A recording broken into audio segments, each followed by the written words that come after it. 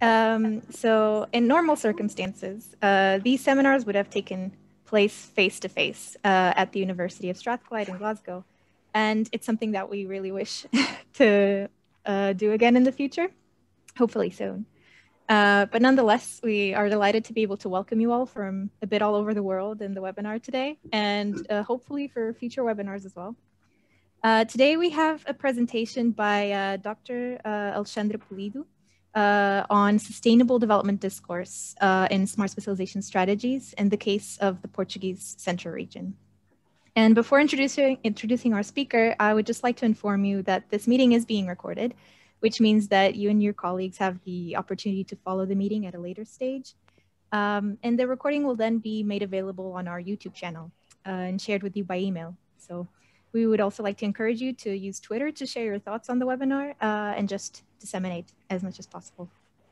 Uh, I'm sure you're all familiar with the protocol for Zoom meetings by now, so I'm not going to go too in, de in detail on this. Uh, just a reminder to keep your microphone on mute if you are speaking, if you are not speaking, and use the blue hand uh, with the Zoom raise a hand function if you'd like to make an intervention. Um, or feel free to also write uh, in the chat to send questions or comments, uh, since after uh, presentation, we will have a Q&A. Um, so I'll just present our speaker today. Alexandra Polido is a full researcher working in the research unit on governance, competitiveness, and public policies of the University of Aveiro. She has a PhD in environment and sustainability sciences and a master's in environmental engineering, both from the Nova University of Lisbon. She recently started a project entitled Power and the Institutional Relations of Environmental Assessment through the Practitioner's Lens, funded by the Portuguese Foundation for Science and Technology. Uh, previous, previously, Alexandra developed uh, research related with community-led network for uh, territorial innovation in the Center project, which aims to identify the policy tools which best allow for the valorization of territorial resources to promote employment and quality of life in the Portuguese Central region. And uh, with this, I give the floor to Alexandra. Uh, I will just stop sharing my screen now. Thank you, Liliana, for the introduction, and thank you to the EPRC for the invitation. And also, I would like to thank the audience for the interest in this research. So it's really nice to see a lot of people here. Um, I am really delighted to be uh, in Strathclyde, back in Strathclyde, because I actually did part of my PhD uh, in the Department of Civil and Environmental Engineering with Dr. Elsa Jean. So it's really nice to uh, be back. So it's really nice. So uh, the research I'm presenting today is uh, um, is a collaboration with my colleagues Sara Moreno Pires and Carlos Rodrigues and Filipe Teles, and it was done, uh, it was developed during my postdoc pro in Project Center between 2017 and 2019. So as we know, uh, globally, we are facing uh, environmental um, social and economic challenges, such as biodiversity loss, natural resources depletion, and social inequity. And in 2015, the international community recognized the need for a paradigm shift to tackle uh, these global challenges. So and it was through the Agenda 2030 uh, from the United States that the, they believe these challenges can be tackled. This agenda has five key themes, the people, planet, prosperity, peace, and partnership, and is further developed into 17 goals, 17 sustainable development goals, and 169 targets. It's applicable to all UN members, but it can be developed on a country basis. The agenda has been criticized uh, for a lot of different reasons, but I would like to um, point out two reasons, two specific reasons. One is the lack of concrete guidelines for action and that the majority of targets are not well formulated. But nonetheless, um, it is a well recognized internationally uh, framework for into forward sustainable development. At the European level, the EU always showed an ambition towards being a leader in the implementation of the Agenda 2030. And in fact, since the publication of the Brundtland report, uh, that the EU claims that the concept of sustainable development is at the core of the EU project. The EU also states that the cohesion policy um, is key in achieving uh, sustainable development and it can help address 15 out of the 17 uh, goals.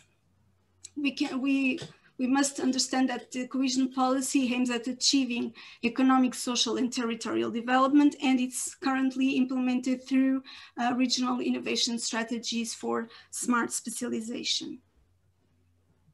And smart specialization has a strong focus on economic development and economic growth but nonetheless, it is acknowledged that there is a potential to enhance the sustainable development at the subnational level, uh, regional level.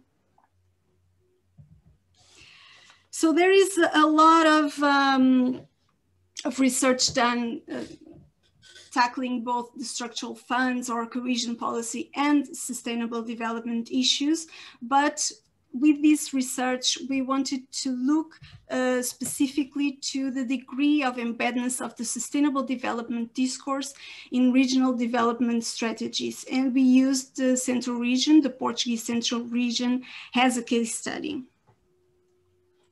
So the central region is located in the Portuguese main, mainland and has um, approximately 31% of the Portuguese total area. It has uh, 2.2 million residents, uh, which is roughly 22% of the Portuguese population. So the region has a, a, a coastal inland dichotomy and a multipolar urban system and a lot of natural resources such as water and forests. We also uh, need to uh, know that one quarter of this population lives in rural areas and also one quarter of the population has over 65 years old, so quite aging population. The smart specialization strategy of the central region was start being, uh, started at the end of 2012 and it was an iterative process uh, and it was monitored and assessed and adjusted with the, the results. So the, the priorities and action lines suffered some, some, um, some adjustments throughout the time. Overall, it has four main priorities, the sustainable industrial solutions, enhancement of natural endogenous resources, technologies for quality of life and territorial innovation, which are further developed into sub-priorities and then action lines. It was mainly implemented through uh, priority one, the sustainable industrial solutions. And these are, this is data from 2017, but I went to look to for the new data and the, the landscape is the same. It's still implemented through priority one and now it's at 733 uh, percent.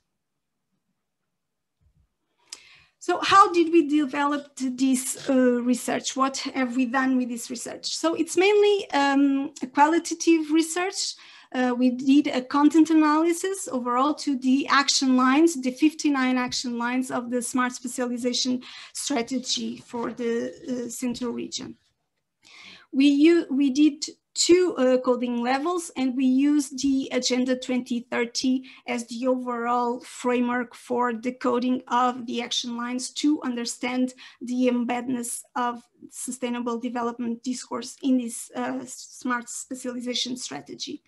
So in the first level coding, we used as a coding framework, the SDG's overall aims. So, and we asked the question specifically, is the action line related to an SDG, taking into account overall, uh, the overall aim of the SDG and this specific keyword? So we use this question to code one action line with SDGs, with the overall aim.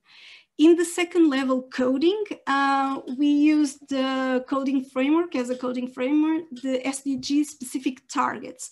And we asked the question, could this action line help enhance a specific SDG target?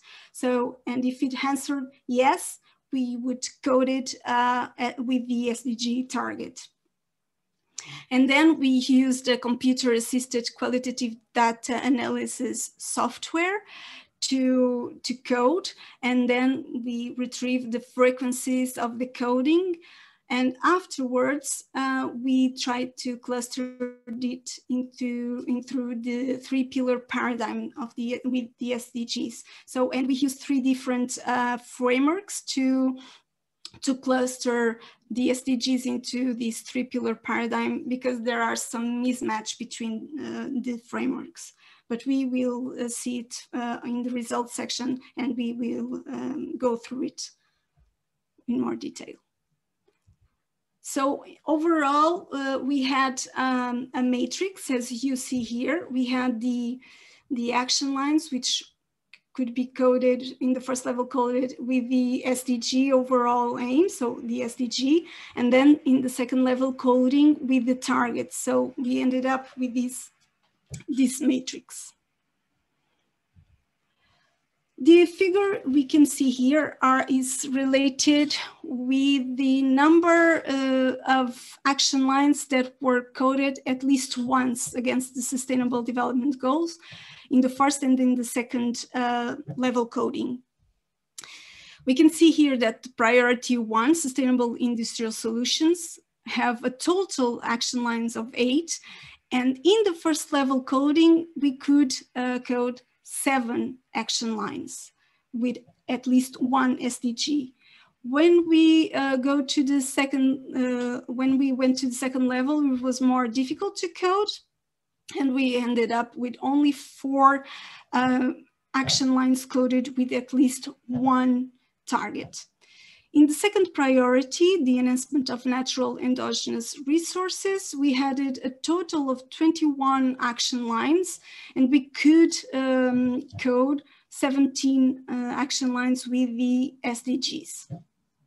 And in the second level, we were able to code only 11 action lines with the targets. In priority three, technologies for quality of life, we can see that we had a total of 10 action lines that we could all, um, could code it all with the SDGs overall aim in first level coding. But in the second level coding, we could only um, code one action line. Regarding the last priority, uh, priority four, territorial innovation, we have a total of 20 action lines and we could code 13 uh, action lines in the first level and 10 in the second level coding. Uh, this figure shows the coding results uh, um, by the 17 SDGs. We have the SDGs here below. And we can see that only one SDG did not, was not coded, the SDG 17. But the others have, are more or less represented. And the most represented is actually SDG 3, uh, relates with good health and well-being. Uh, and the, the others are SDG 8, decent work and economic growth, and the, the two SDGs related with the in terrestrial and aquatic ecosystems. We can see that priority two has a lot of, um, of coding. The action lines of priority two were uh, have a lot of codings, mainly in these um, aquatic and terrestrial ecosystems. And it's also uh, regarding natural endogenous resources. So it makes a lot of sense. And also it's, it's coded in the clean water and sanitation, the uh, affordable and clean energy and SDG 2, which is zero hunger, but it's uh, related with food systems and sustainable agriculture. So um, it was expected this kind of, of um, results. In uh, the uh, priority uh, three technologies of quality of life, we can see that was mainly um, coded with SDG 3, which is related, and it also makes sense, which is related with the uh, health and well-being. So going now to the second, uh, now to the three uh, pillar paradigm, as we can see, and what I was saying before is that uh, the frameworks for the that combine that uh, combine the three pillar paradigm with the SDGs uh, often may, may uh, put the SDGs in different pillars. So as we can see here, SDG 12 in the UNDP uh, framework is placed under the environmental pillar, but in here in Rockstrom and Sukhdev, uh, it's actually placed under the economy pillar. Um, and back again in Cabasso et al. is also placed under the environmental pillar as in the UNDP but interestingly, um, the 11, the SDG 11 is placed under economy uh, in the first um, framework. In the second is placed under the social pillar, and in the third framework is placed under the environment. So uh, it was uh, interesting to see also these kind of variations. Overall, in this figure, we can see that uh, we could tackle uh, all of the pillars with this coding, the first level coding. We can see there's a good distribution um, among the pillars. When we go to the second level coding, um, we can see that there's a lot less uh, coded action uh, lines.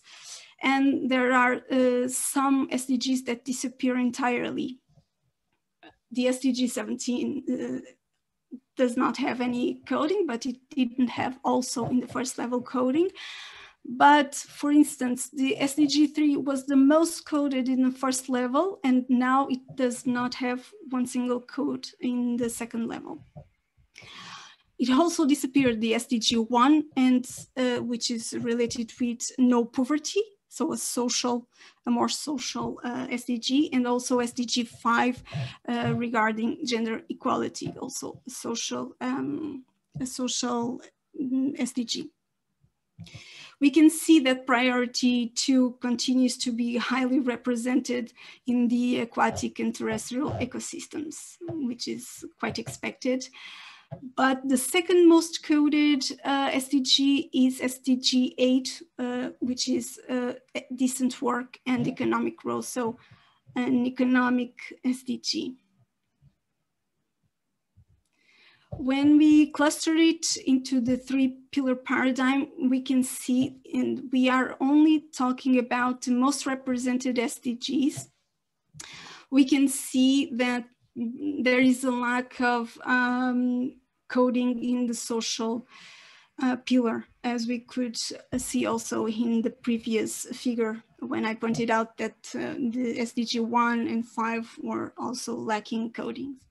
So there is um, here a lack of um, the social pillar in smart specialization uh, strategy.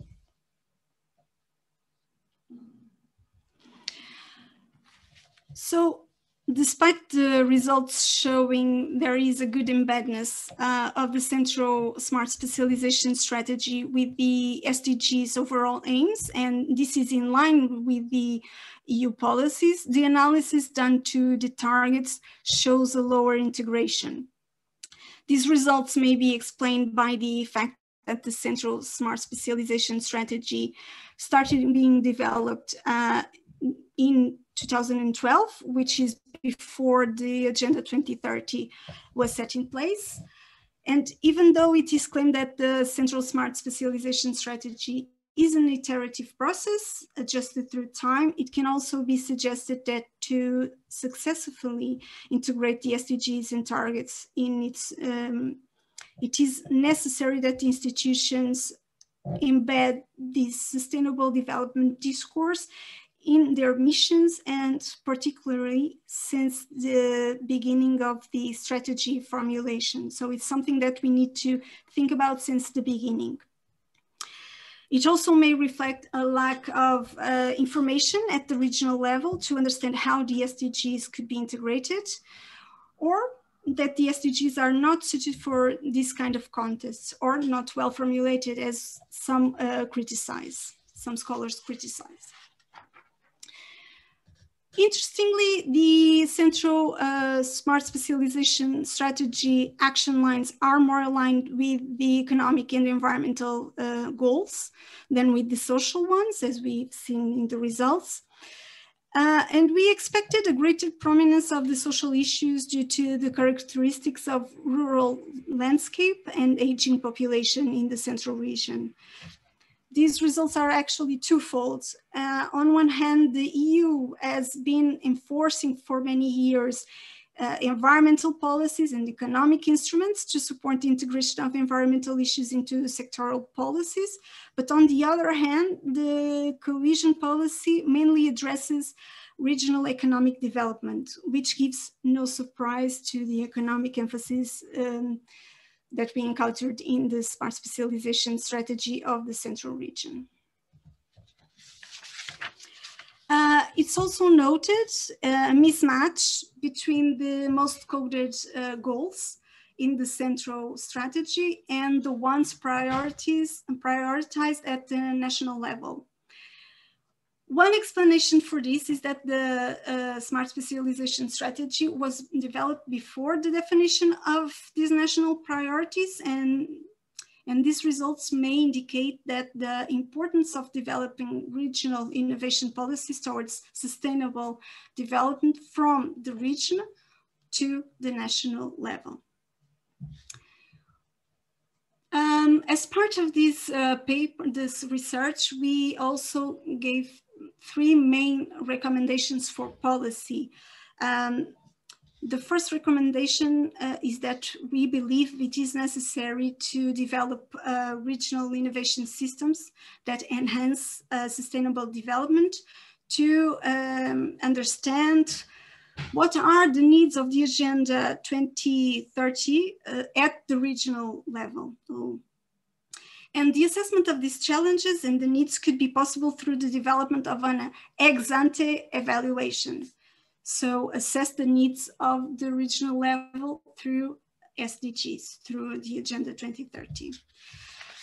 Our, uh, our um, second recommendation is to that the region should put in place a monitoring and evaluation of the system of the projects financed under smart specialization strategy, having uh, the Agenda 2030 uh, in perspective. Uh, and intertwining the, the, the, first two recommendations and with the information retrieved from a possible ex-ante assessment and monitorization of the implementation of the smart specialization strategy, it would be possible to rethink um, the action lines and priorities seeking the enhancement of the bottom-up process through the identification of stakeholders that are underrepresented in the governance structure. So to conclude, um, one of the most significant findings to emerge from this study is that the central uh, strategy needs to be revisited if it aims to help address SDGs specific targets. A second finding shows that the social issues are uh, disregarded in, in, this strategy, despite the aim of the cohesion policy emphasizing the social development. A third finding regards the fact that the implementation of the smart specialization uh, strategy in the central region is mainly being done through uh, projects financed under the economy pillar and the fourth important finding reinforces the need to develop uh, regional innovation uh, policies towards the SDGs uh, with an alignment uh, from the regional to the national level. For future research, we believe it's important to uh, look deeper into the design process of the central uh, Smart Specialization Strategy through interviews and uh, to the actors involved to understand how the bottom-up process was developed. Because we believe this is a focus issue, uh, the bottom-up process, which is already done in the smart specialization strategies, but it needs to be reinforced with actors that are not usually represented in these um, in these processes. Also, uh, it would be really interesting to have similar studies for other regions in the EU, so we could compare the results um, and also to conform to conflict with these uh, results. Uh, since the study was limited to the central region, we cannot generalize to other EU regions but it is critical to debate uh, the role of smart specialization strategies if they aim to act as an effective engine for reducing disparities uh, while framed by uh, SDGs uh, and sustainable development discourses. Uh, finally, we believe it would be really important to examine uh, the type of projects financed under the the structural funds and to, through cohesion policy and smart specialization uh, strategies and analyze if these uh, may help enhance uh, Agenda 2030 in practice. so thank you so much for your attention. Uh, I, I'm really hoping for your questions and for the great discussion. Thank you, Alexandra, for a wonderful presentation. Um, I don't know if anyone already has a question, but I'll just maybe start it off uh, because um, as I mentioned to you before, we do have a project within EPRC that kind of also aims at uh, considering the sustainable development discourse and sustainable development goals in developing uh, or helping develop research and innovation strategies in um, regions that are in coal transition. So this includes regions in Wales and Poland and Greece, so a bit all over Europe. Um, and we wondered if you have um, any particular advice in like considering then the design of those of those smart specialization strategies when considering those goals.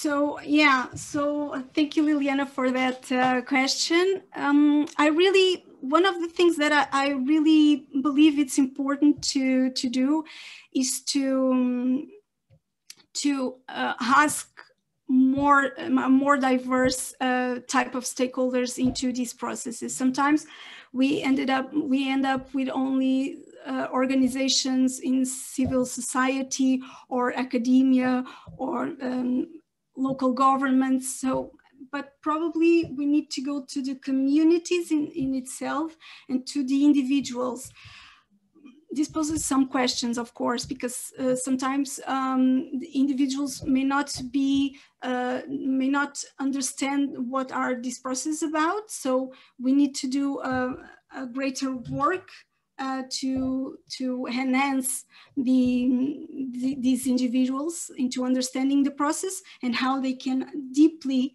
uh, contribute to these strategies. So I believe this is fundamental for the, the, the, the, strategies. I, I believe that you are already doing some, some kind of these efforts in bringing um, together different stakeholders for your project. But yes, so, but uh, really think about the underrepresented groups and think about also if there are uh, there are a um, almost an, equal, uh, an even gender balance, also making taking into account the different ages. So the plurality of voices in these processes. And of course, to understand really well what the uh, SDG for clean energy is about. And I believe you already done this and, but put it in a greater, in a greater landscape of the overall agenda and what is hoped to achieve with this agenda. So it's not just one single SDG, but the overall, the landscape of the Agenda 2030.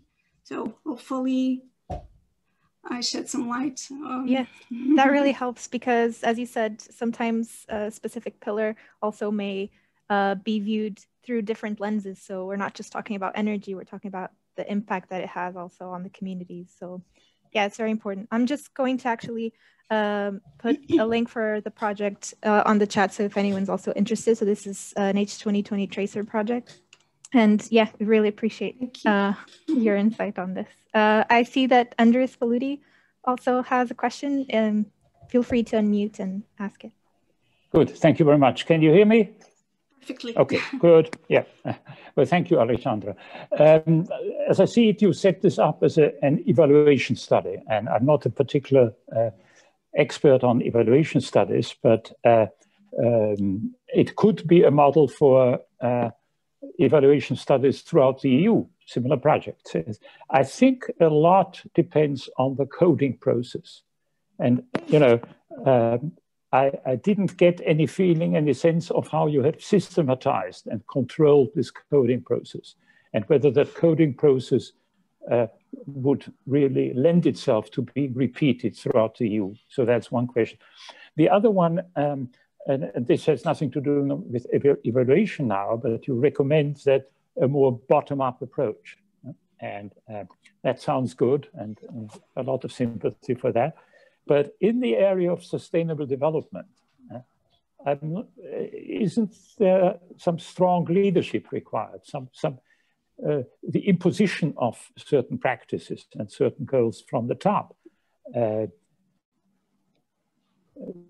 so isn't, isn't that one of issues? I mean, if you leave this to bottom-up initiatives, the, uh, the guarantee that sustainable goals, uh, development goals will actually be implemented. Uh, so that's, that's a more philosophical question, but the first one is a more methodological one, which is unlike myself, I'm not a, a great methodologist. Yeah. Good, thank you.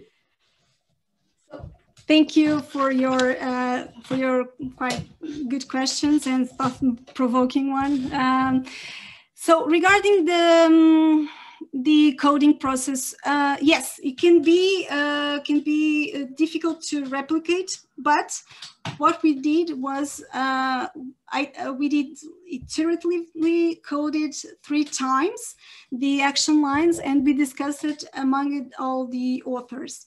How could this be replicated in other in other regions and to a more robust uh, framework? It's just to repeat the process often because content analysis is, is really about it. It's about the, a good coding process. If you do it iteratively um, and do it uh, with many coders, with many people coding, you can, uh, in the end, have a robust framework. So you need a team to do this. The content analysis cannot be done by only one person. So it goes through there. A lot of people coding it so we can have a robust framework. Uh, and it can be replicated in other in other regions too with this having this in mind and probably validating through workshops with others um, with other stakeholders not only academics or, or, or people that are interested in, in looking at this from the methodological point of view. So, so just doing a lot of coding process and then cross uh, analysis, all these frameworks that are delivered for by each coder. Regarding the bottom-up process in sustainability, it, it really depends, it is a philosophical, almost a philosophical question because it really depends um, on your way uh, of thinking about sustainability. There are, there are uh, some theorists that say it should be uh, top bottom but the the the, the ones that I, I find most interesting uh, it's the ones that say the sustainability sustainability is for whom right so if it's for the for the citizens and for the societies uh, probably we should hear the, the individuals in these societies, we should hear the communities in these societies. So, and with that said, that's why I believe it is important to have a bottom-up process and not only a, a top-down uh, process in sustainability processes.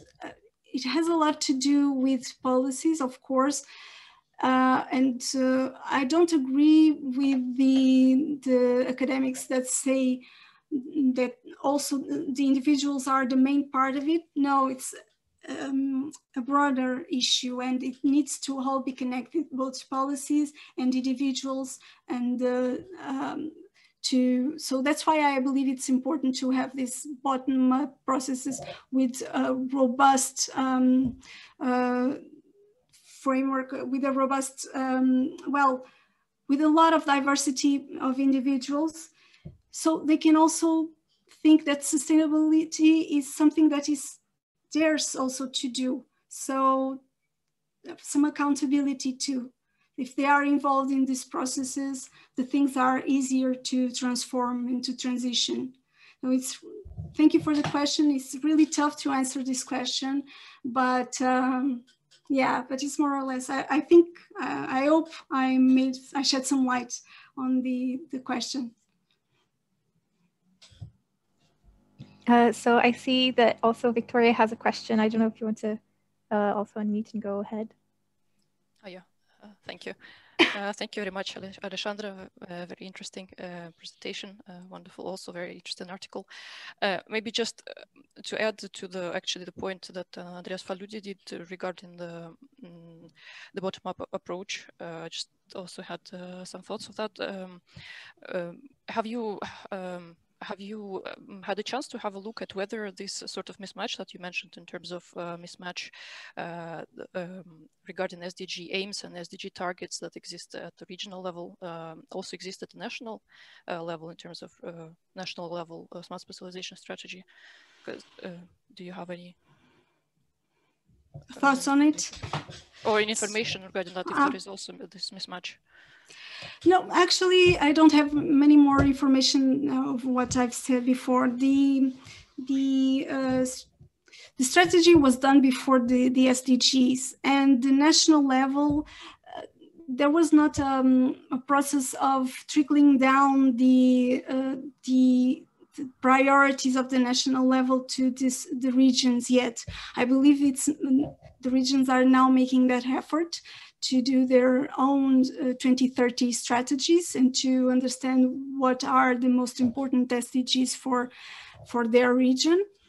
But by the time we did this, um, this research, this work was not yet done. And I'm not sure if there is really um, well at the national level if they don't talk with the regional level of it's just a misfortune. I did not add uh, the opportunity to study this issue specifically Okay, yeah, thank you. But I was just thinking, for example, if hypothetically we imagine that, as you said, first the regional uh, strategy, smart specialization strategy was developed, as was also the case in some other Portuguese regions, uh, which was the first step, and then sort of national smart specialization strategy served as kind of umbrella strategy, then uh, collecting all these different uh, priorities and aims and targets. So I suppose maybe we can expect some kind of also even greater degree of mismatch between those, between aims, sustainable development aims, uh, and targets on the other hand. And so so as you're proposing, uh, the priority would be to go for bottom-up approach, where first we start with regional strategies and then come to the national one, but also echoing what Andrea said, uh, maybe for certain, specifically for certain uh, smart uh, sustainable development goals, such as climate action, for example, there's really a need for a very strong national uh, framework to help achieve specific targets. For instance, very strong national legislation in some matters, for example, regarding climate mitigation, where even if uh, targets uh, and aims at regional level perfectly aligned and make sense would be pretty much impossible probably to achieve at national level without a strong national support framework. Also financial resources, uh, where in the Portuguese case, where the regions really lack those to implement uh, their priorities.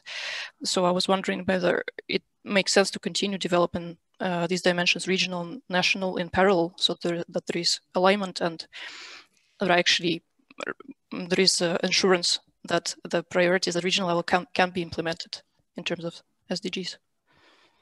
Yeah, thank you, Victoria. Um, so I'm, uh, I believe uh, what I, what I'm talking about here is really the, if the smart specialization um, takes into account the SDGs. I'm not thinking I'm not thinking of the if the, the SDGs are met per se, okay, globally. I'm, I'm thinking about how can uh, as, as, uh, this strategy help um, help achieve the, the SDGs.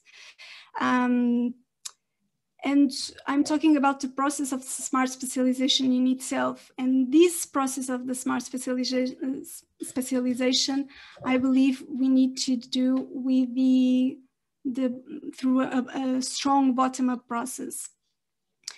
With that said, that doesn't mean that, of course, and you said it well, that we need um, central uh, from the government policies and financial resources to achieve the sustainable development goals.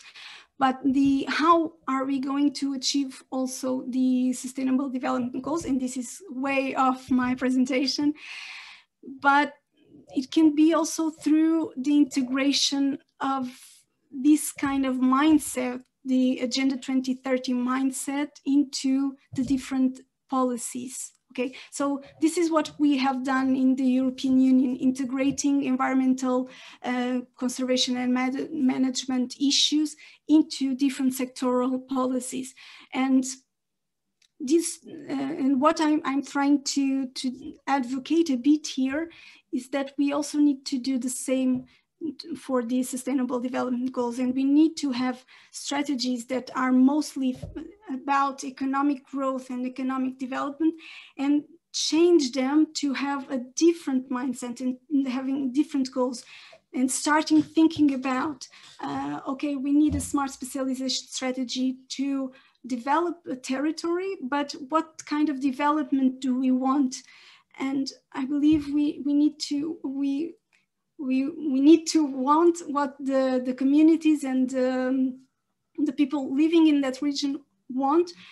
But having as um, as a background these wider sustainable development societies uh, and sustainable futures.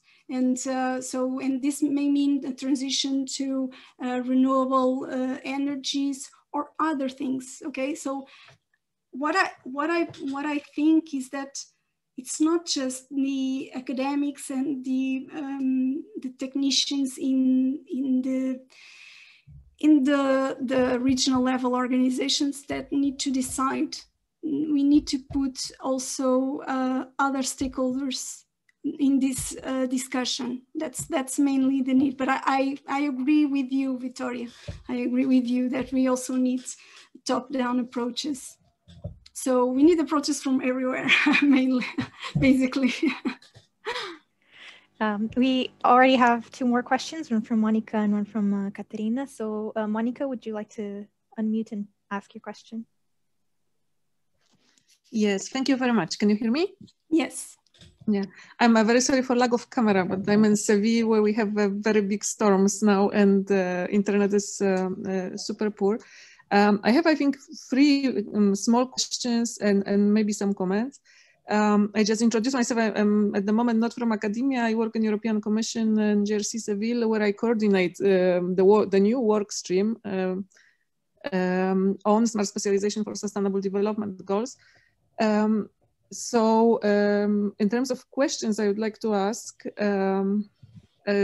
first one would be, uh, has the analysis that you presented, and first of all, thank you very much for taking up this topic in a more academic way, because we took it up purely on practical reasons. Uh, um, uh, has this work been consulted or done uh, in some kind of dialogue with regional authorities of central region, uh, or uh, this is uh, um, going on outside?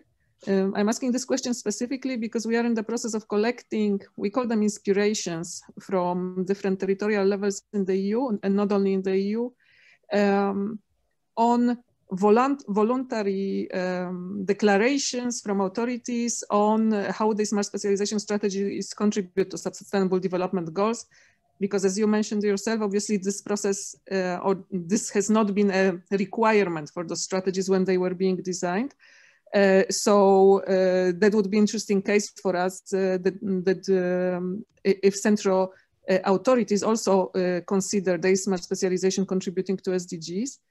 Um, my second question would be why um, have you chosen to analyze action lines and not priority domains for smart specialization? Because this was, we did some um, uh, internal uh, practical analysis use, uh, based on the database that we manage uh, of priority domains from, uh, from the EU, from smart specialization strategies. And this was kind of natural decision that we took, not focusing on action lines or strategy objectives, but more on the, on the domains. And my last question would be, um, have you considered the issue of interlinkages and trade-offs between SDGs? Because in the SDG discourse, this is a big topic that's under consideration that uh, the pure fact of um, contributing to the achievement of SD on one and SDG is in a way not good enough because uh, a progress on this one SDG can um, cause some negative uh, effects on, um, on, on uh, other SDGs.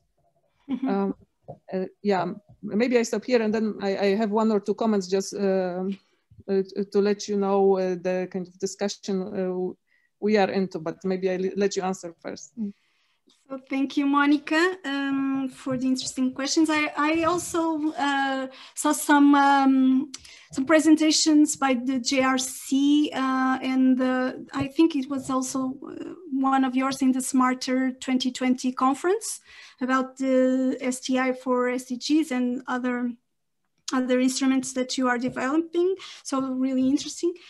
Um, we this this this uh, research was done under a project center. And project center was uh, connected with the uh, commission for development for the regional development. And we had the opportunity to present the results to the commission which is currently doing the uh, smart specialization strategy for the next uh, framework of um, finding. Um, and they already starting to um, thinking about the smart specialization strategy, uh, having uh, the Agenda 2030 and the Green Deal uh, on the background. So um, they are thinking about implement, and we, we, we discussed this, and they are thinking about implementing the monitorization system uh, through um, the SDGs. To, with, with the, one the recommendation that I uh, that we did about mon monitoring the the project's finance under the smart specialization with the SDG. So they are they are thinking about putting this in practice, and they are also uh, thinking about the Agenda 2030 while doing the action lines for the uh, next smart specialization strategy. Regarding why the action lines and not the priority domains, because the, the action lines were a bit more uh, uh, fine-grained analysis. So the priority domains are good intentions, but then they are um, put in, in, practice by the action lines. And that's what interested us. Uh, and this is what is going to um, help fund projects or not under the smart specialization strategy. So this is what we believe it would be important to study to have a more uh, fine-grained analysis of the, the strategy. Um, because priority domains are umbrella terms, right? So if I'm understanding correctly, if we are talking about the, the same things. Uh, and uh, if I consider the interlinkages and trade-offs between SDGs, we did not. We, we looked at it as single uh, SDGs. And, but this takes us to the, uh, also the criticism that SDGs also um, take uh, on the, the academia. So academia and others and others. Uh, so the SDGs are in the Agenda 2030 is heavily criticized for different reasons and that is one of them. So probably the SDGs need to be uh, fine tuned, right? The, the targets and uh, need to be fine tuned and improved uh, because there are some uh, issues that are, are not well, um, well thought of when done. So yeah, we did not consider the interlinkages. We will look at it in individual way. Thank you very much uh, uh, for these answers. Uh, uh just uh, and maybe just like few comments, maybe to also give food for thought for any future research. Thank you. Uh, and things kind of issues that we are considering uh, also Yeah. in terms of policy guidelines. Uh, uh, first of all, I, would like to mention uh, like we really uh, uh, Uh, are very impressed and happy that uh, many, many regions and also mm, countries or sometimes uh, local level authorities take up SDGs and actively want to adjust their smart specialization strategies to that. But we have to be aware that it is for the past programming period is completely voluntary exercise. Obviously, it's not part of the regulation, part of requirement. And also like, honestly, not part of the definition of smart specialization, original smart specialization um, strategy as knowledge-based economic um, transformation agenda. Uh, we are now considered the work we are doing at the moment, this is this consideration that uh, based on Addis Ababa Action Agenda um, for the implementation of, uh, of Global Agenda 2030, that science, technology, and innovation should be considered as a means to, to, for the achievement of basically all the SDGs. And in this context, we are looking at smart specialization as research and innovation strategies to also consider them. But we also have to be aware that even in the regulation, uh, for the new period, it is not uh, foreseen as obligatory requirement. So it's still, we are keeping this, uh, this, voluntary access. But issues we are considering, uh, for example, I think one colleague mentioned it in the questions before, the, the relation between top-down and bottom-up. This is actually a very big discourse in reinventing smart specialization in a way, because um, the essence of smart specialization is bottom-up and global agenda is top-down. And uh, this is the issue and narrative of directionality in the policy making that I honestly say we don't have an answer for yet, but it's something that really has to be considered. And uh, probably uh, the direction of thinking should be via localization of SDGs. Yeah, but this is uh, some very um, initial um, thought, food for thought. Uh, in practical policy making terms, it's also worth mentioning, uh, you mentioned the Portuguese national level priorities. I understand that they come from na uh, voluntary na national review. Exactly. Uh, in practical policy making terms, uh, this is even a different ministry, even if we're talking national smart specialization strategy, voluntary national review, this is policy uh, ministry of uh, foreign uh, affairs usually. And um, for smart specialization could be economy, innovation, regional development, and so on. So this is a big issue. And i don't think at the moment like legally there is anybody. It's only based on goodwill really. uh, so this is one kind of issue to be considered for the future. How uh, like what what even best advice we could give on that uh, that is implementable.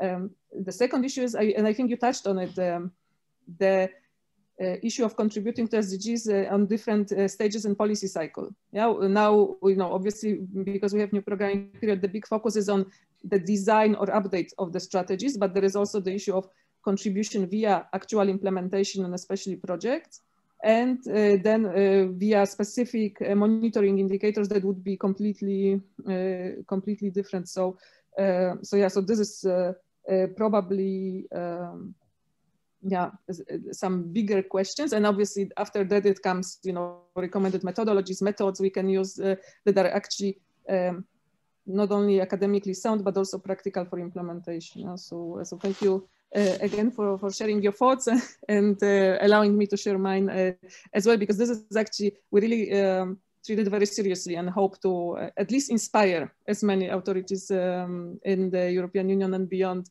to do it yeah um, and then maybe in the next programming period to uh, to make it obligatory.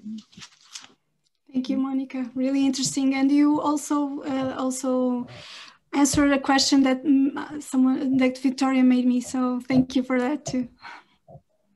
Uh, we still have time for further questions. So Katerina, uh, you have your hand raised, please.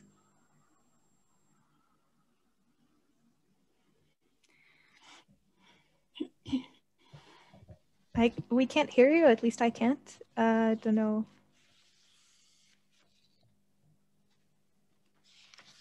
Maybe um, you can type it in the chat as well.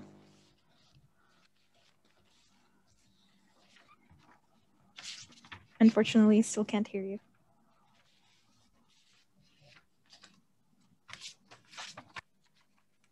So I will advise maybe just typing your question in the chat and um, if anyone else also has a question, uh, we're coming up at one o'clock, but uh, yeah, Victoria, maybe Yeah, sorry, I didn't realize it's almost a one. Oh, maybe. I've already asked enough. yeah. Okay. Um, well, Katarina, maybe um, I don't know if you're typing. I can't uh, really hear you, uh, but I will just say now to um, everyone that has attended, thank you very much for your interest in this webinar. Um, and also thank you to Alexandra, Alexandra for um, presenting today. Our next webinar will take place on Wednesday, February 3rd, uh, when EPRC's Martin Ferry will present on the 15-minute city. Uh, so that may be of interest to you as well. Uh, and if you have any further questions to Alexandra, feel free to get in contact with us as well, or with her if you already have her email, and uh, we can forward that on. Um, as I said, we will post this recording. Um, and yeah, uh, we will post this recording on the YouTube channel and we'll share it with all of you. So um, if I can't see any further questions since you already put your email on the chat, um, I will just uh, end this webinar for today. So thank you very much for everyone for attending. I hope you have a good day. Oh.